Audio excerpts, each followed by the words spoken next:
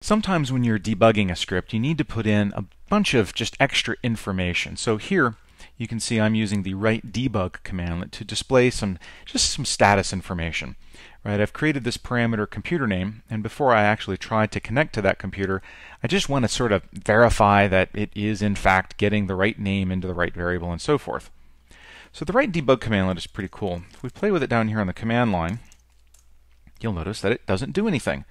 Well, and that's because its output is controlled by a built-in variable called debug preference. And the default value for that is silently continue, which effectively suppresses the output of write debug.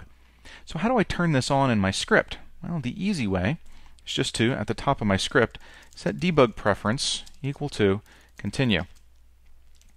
By setting this in my script, I'm only changing it for this script. Once the script finishes, it'll go back to the default of silently continue, which is still defined that way in my shell.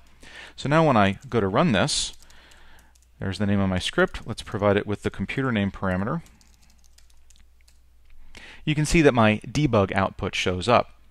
Now once you've finally finished debugging your script, you almost invariably want to take all these out because you don't want it to just continually pollute your script's output.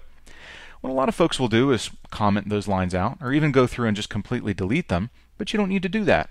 Just remove that line.